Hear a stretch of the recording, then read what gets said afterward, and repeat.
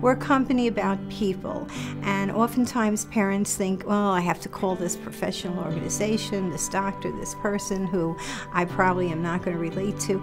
And I say, we do relate to you. And we do share your concerns, and we do want to support you. And we're just people. And we have this constant communication going back and forth with parents, with the team members on the treatment teams. Um, and so I encourage you not to be afraid. Kids come to us at different levels.